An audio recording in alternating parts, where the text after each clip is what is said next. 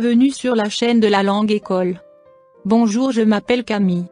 Et elle est Emily. Emily is my very dear friend from Chicago and she is just visiting France. Let's help her to learn French. Hello, Emily. Hello. The most important thing is to learn as I can't understand French. Can you please speak in English? So repeat after me. Je ne comprends pas le français, pouvez-vous s'il vous plaît parler en anglais? Je ne comprends pas le français, pouvez-vous s'il vous plaît parler en anglais? And you need to learn some basic French words. If you want to speak to someone then always start a conversation by saying, Bonjour. Bonjour. if someone says oui that means yes. Oui. And if someone says non means no. Non.